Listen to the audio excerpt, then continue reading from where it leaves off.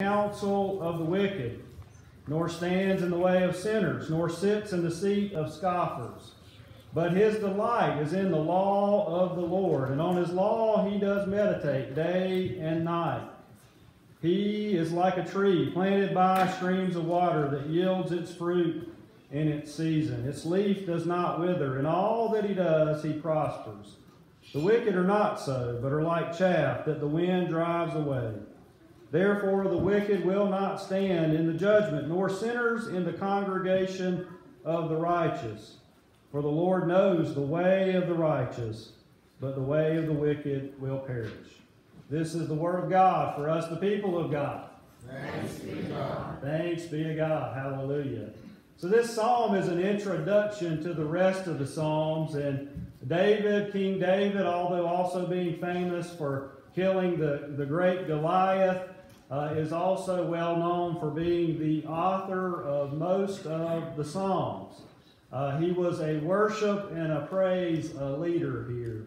And this uh, psalm, Psalm 1, serves as an introduction to the rest, and it explains to us here that the person who delights in the law of God rather than sitting with, standing with, or walking with the wicked the person who delights in the law meditates upon it how often?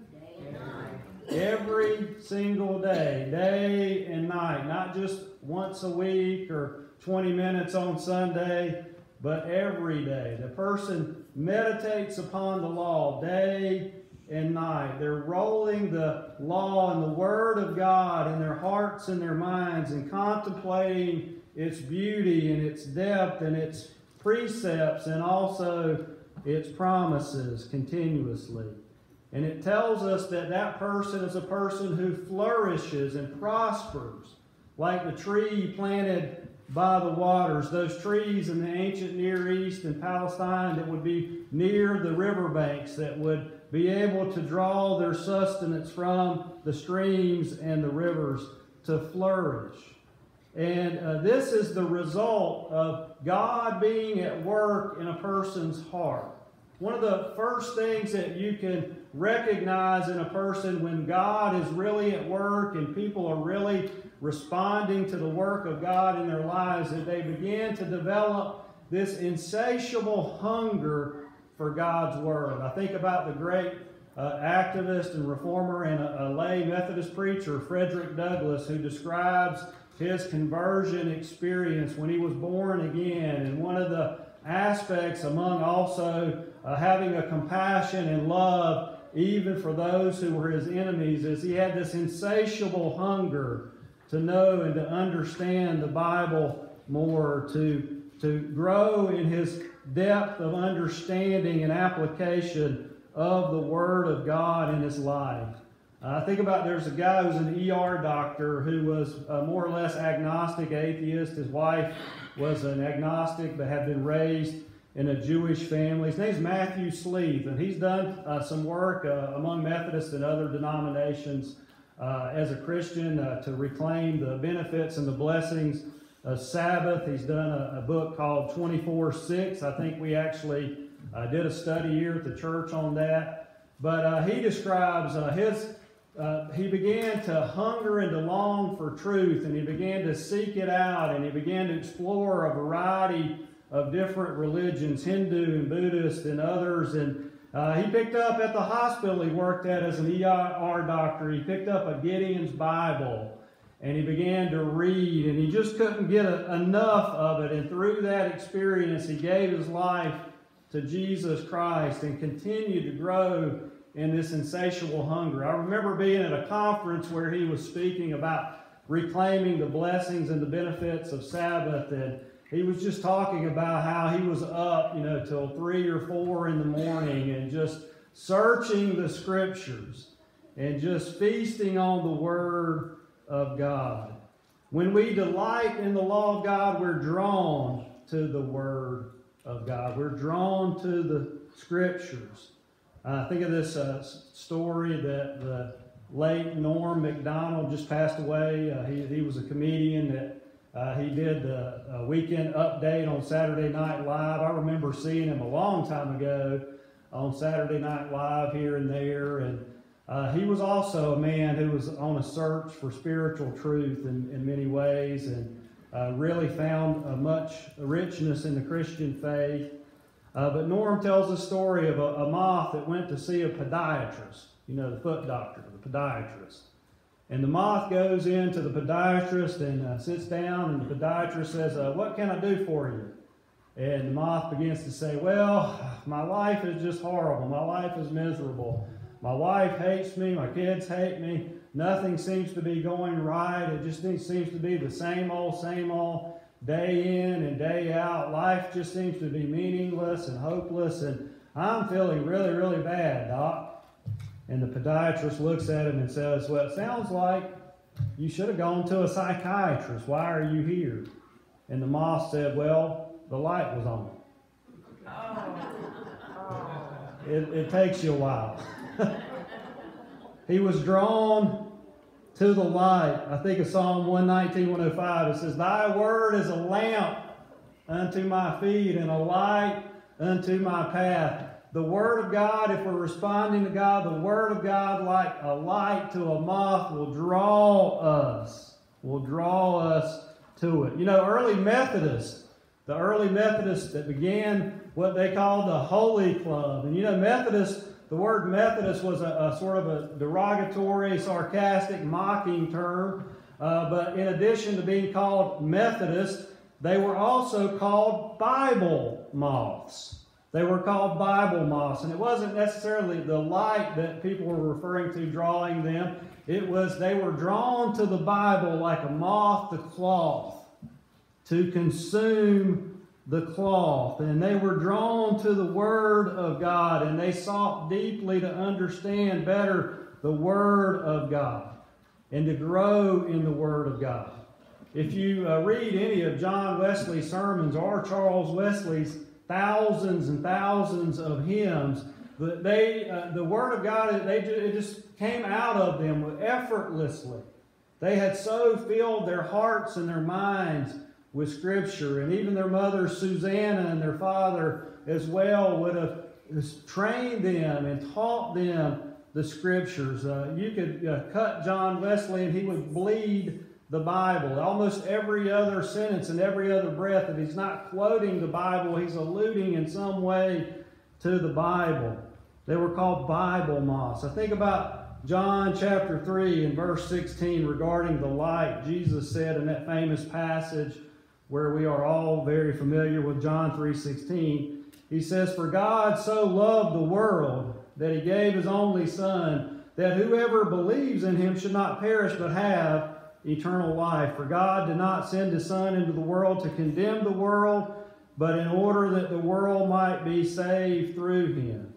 And whoever believes in him is not condemned, but whoever does not believe is condemned already because he has not believed in the name of the only Son of God. And he says, And this is the judgment that light has come into the world. And the people love darkness rather than light. The people love darkness rather than light because their works were evil. For everyone who does wicked things hates the light and does not come to the light lest his works should be exposed. But whoever does what is true comes to the light, so that it may be clearly seen that his works have been carried out by God.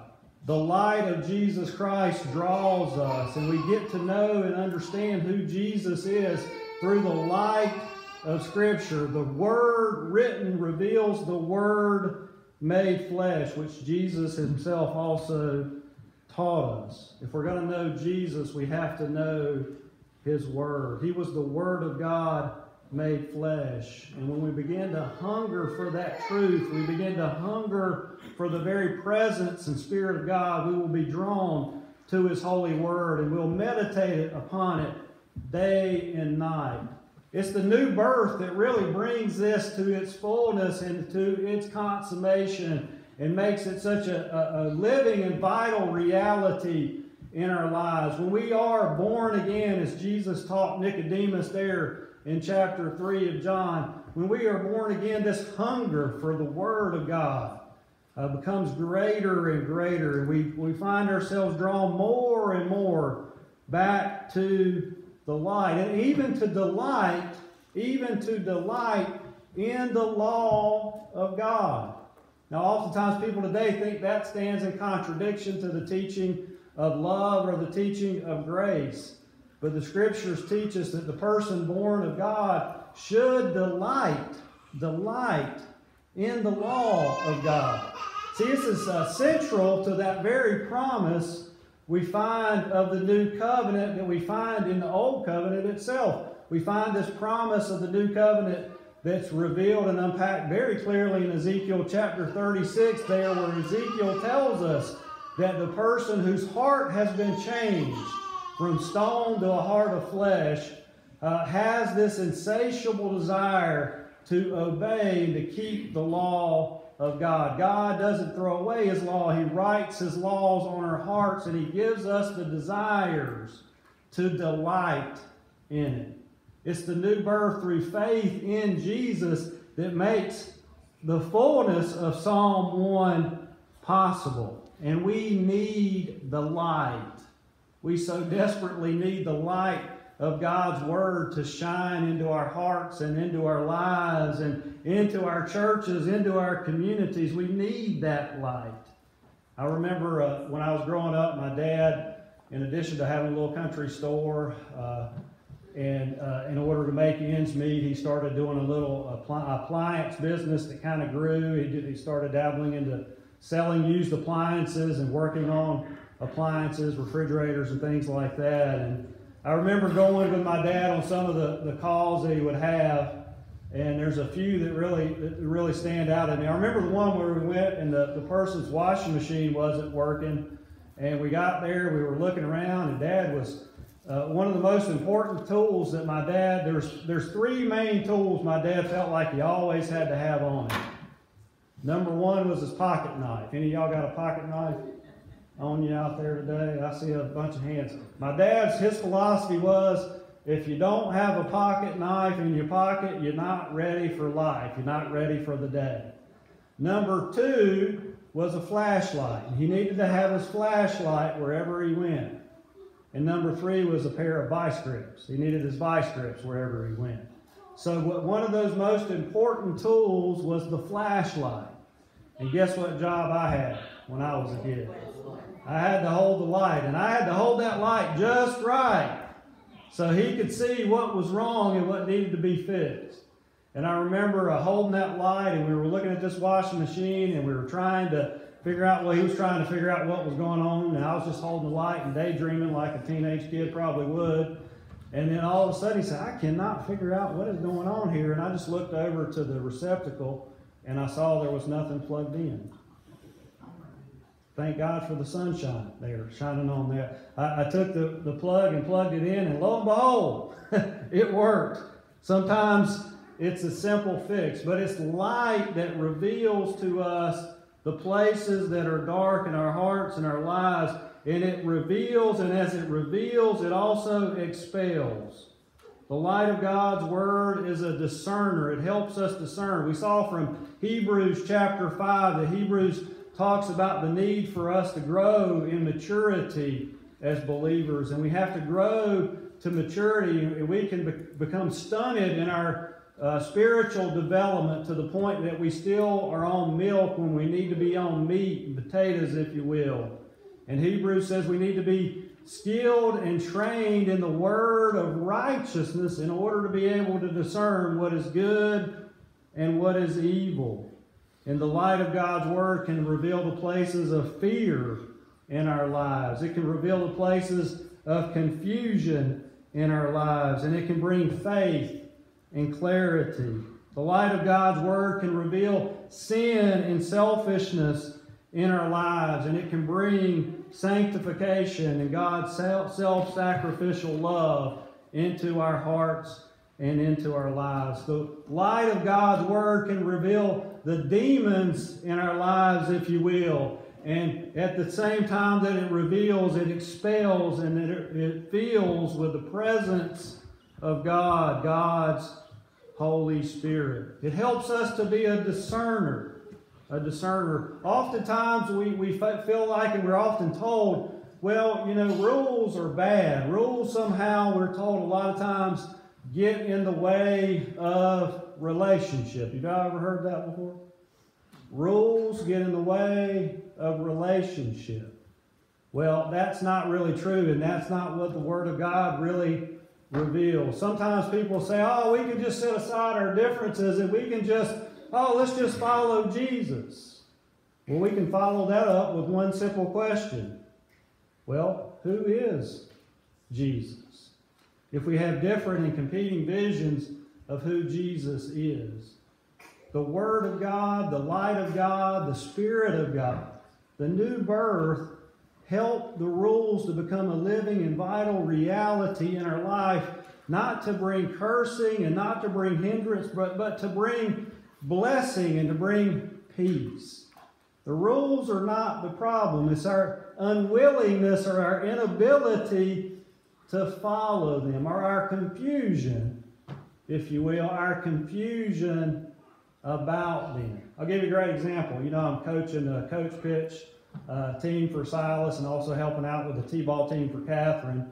Uh, for this fall league this year, we have been playing by a, a, a, set of rules that are more instructional for instructional baseball than competitive baseball. That, that's been the plan.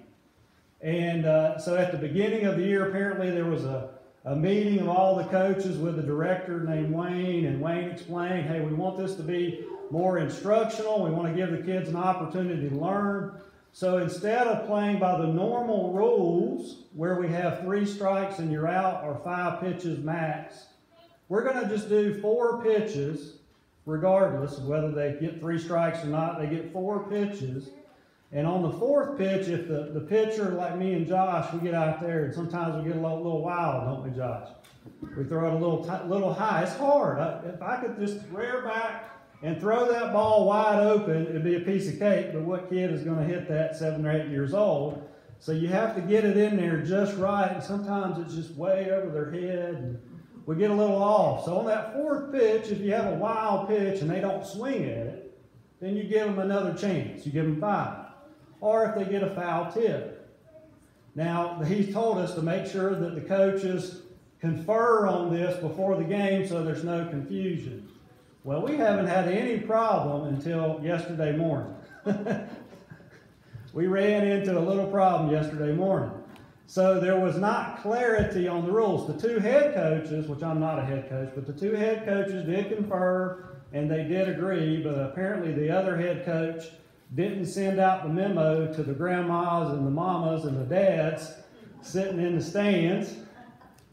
And I think a couple of their other coaches were a little confused about the rules that we're playing by. So when uh, they were thinking it was one set of rules and I was operating with another set of rules, somebody's grandma was ready to fight me yesterday. I ain't kidding.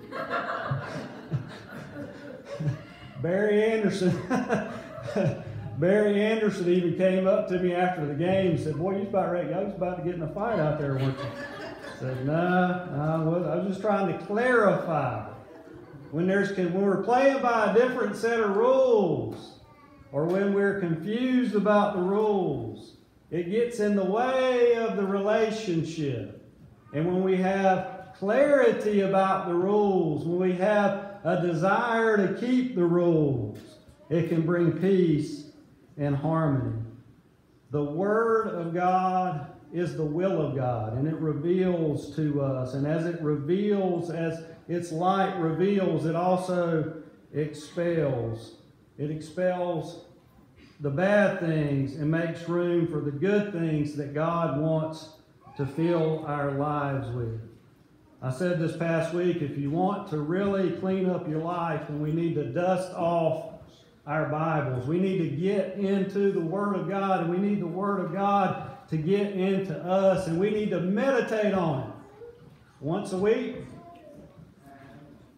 day and night, every day, because this is about being everyday church and all together Christians.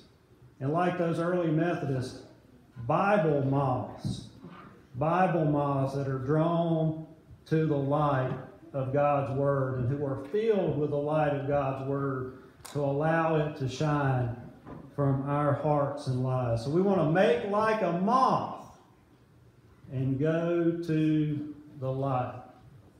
Pray with me. Lord, we thank you for your holy word today. Teach us, Lord. Teach us your ways. Teach us your will. Guide us by the light of your word. Wherever today, Lord, there is fear and trepidation, may your light dispel it and bring peace and faith. Wherever today, Lord, there may be selfishness and sin, we pray today, Lord, that your light will reveal it and expel it and make room for your holiness and love of you and love of neighbor. We thank you, Lord, for your forgiveness for where we have fallen short. And we thank you for your promise that if we confess our sin, that you are faithful and just to forgive us and to cleanse us of all unrighteousness, to make us new and to make us whole. And we pray this in Jesus' mighty name. And all of God's people said, Amen. Amen. Amen. Stand as you're able as we sing soon and very soon.